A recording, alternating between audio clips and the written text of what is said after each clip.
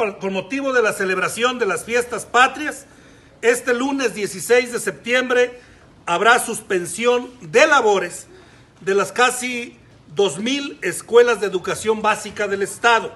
Durante este día se invita a los padres de familia y alumnos a que participen en actividades que fortalezcan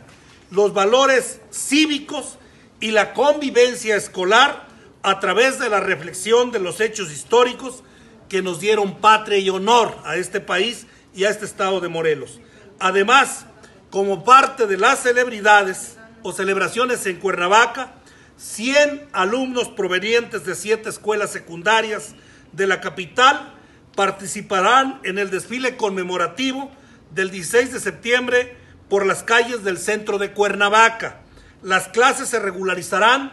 el martes 17 de septiembre en todas las escuelas y oficinas centrales y regionales del Instituto de Educación Básica del Estado de Morelos.